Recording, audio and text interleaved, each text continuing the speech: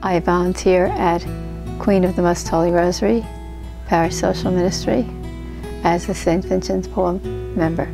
I get more out of it than I give because, first of all, I go to Mass every morning because otherwise, when you work with people that have so many things wrong, it would make me feel very depressed. But it doesn't because I know I can help them.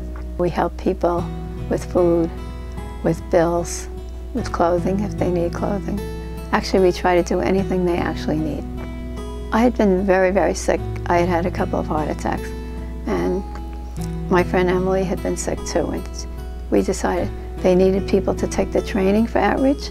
So we said, oh, we'll do that. It's only one hour on a Friday. And we did it. It was two hours on a Friday.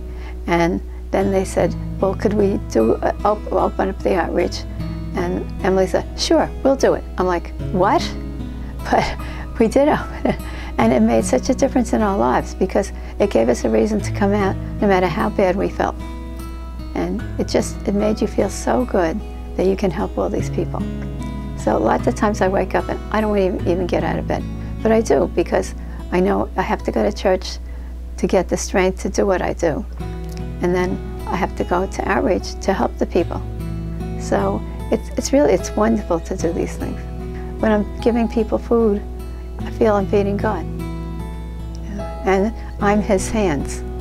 You know, there was a statue during the war that had been bombed and, and there was no hands left. And it said, I have no hands but yours. And we're Christ's hands. I feel very happy about the people that are doing what I do and are doing it because of what I did. My daughter, Marianne, is a lawyer, but she's working as a coordinator now at Our Lady of Mercy.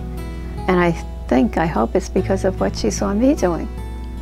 It's just, it's so satisfying because you've made a lot of good friends. You know, we visit each other. John is always saying to me, are you telling jokes or something? Because we laugh all the time. But you know, God loves a cheerful giver. And that's what we are.